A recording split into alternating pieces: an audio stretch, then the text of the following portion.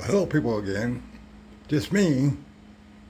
Just got out of a nice, long, hot, 30 minute shower. it's become part of my routine here at the home after I do my morning exercise routine and stuff. Not only does my morning exercise routine help relieve my pain level, so does my morning showers. Shower to relieve a pain. How about that? Enjoy your day. Time for me to start on my second pot of coffee. yeah, second pot of coffee. And start my day. Enjoy yours.